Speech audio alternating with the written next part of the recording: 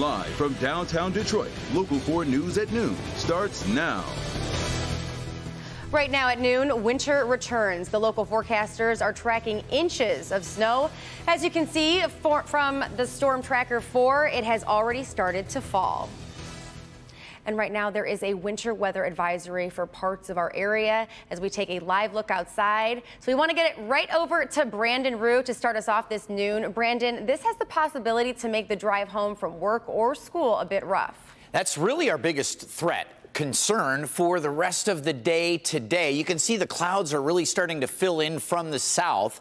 Temps are in these low and middle 30s, but falling. We were up to 40 degrees, and now these northeast winds starting to push into some of this moisture, causing some evaporation, which causes cooling in the air. The winter weather advisory is only for our north zone. It started and it runs until 7 p.m. for Oakland, Macomb counties, until 4 a.m. for our northern North Zone counties.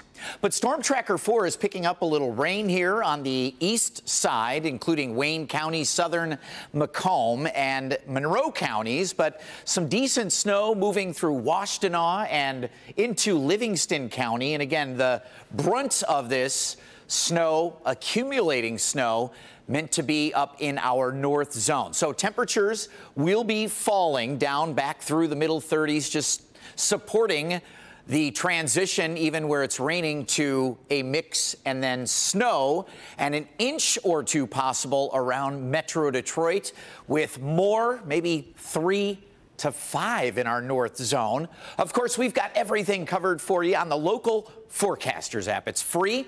Just put your phone camera right up to that box in the middle of that QR code, and it'll link and sync you right to our local forecasters app.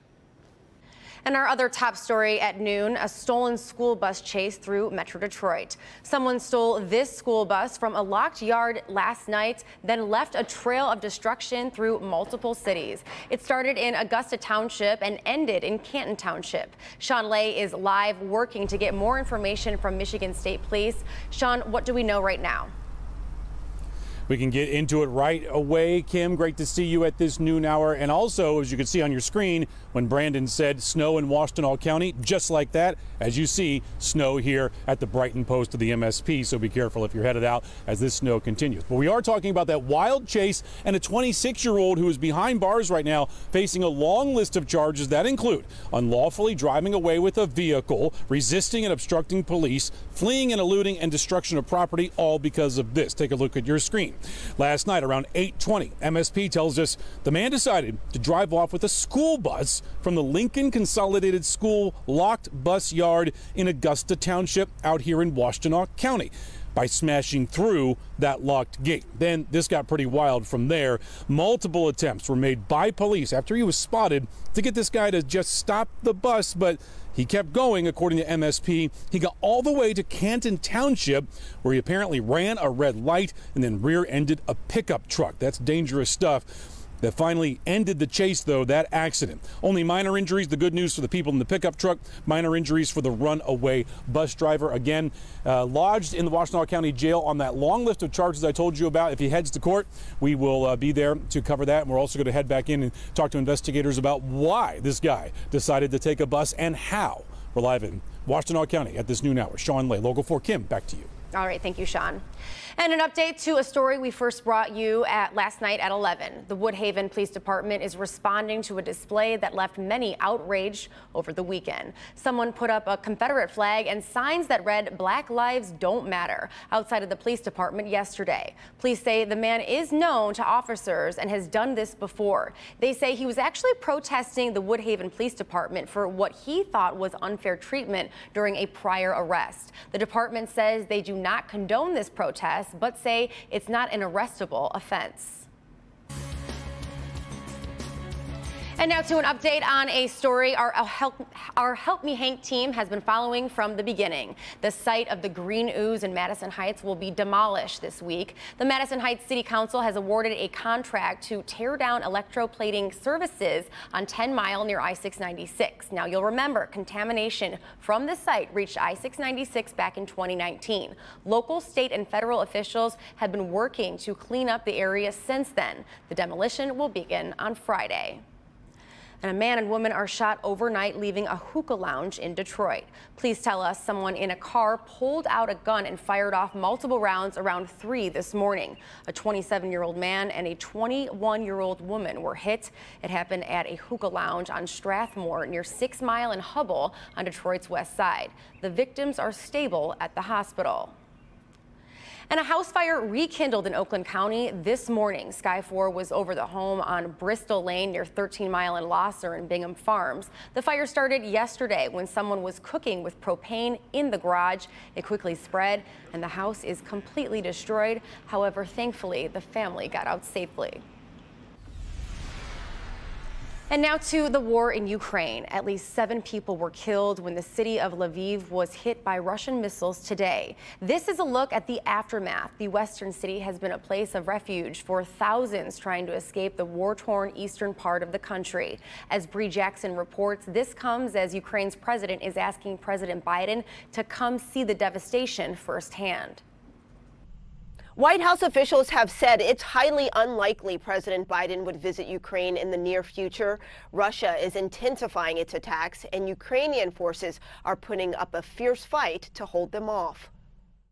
Ukraine refusing to surrender the shattered city of Mariupol, the scene of the war's heaviest fighting so far. No, city still is not fallen. There is still our uh, military forces, our soldiers, so they will fight till the end. President Zelensky warns of major consequences if the city does fall. He's urging President Biden to visit Ukraine. But I think, I think he's the leader of the United States, and that, that, that's why he should come here to see. The Chancellor of Austria toured the war-torn country, witnessing devastation in places like Bucha, becoming the first European leader to sit down with Vladimir Putin for what he calls a frank conversation. I saw the war crimes, I saw the massive loss of the Russian army, and I told him that there is a need for humanitarian corridors. Russia's president shows no sign of letting up his relentless attacks. So the Russians now, Ukraine's unique. Including in Lviv this morning.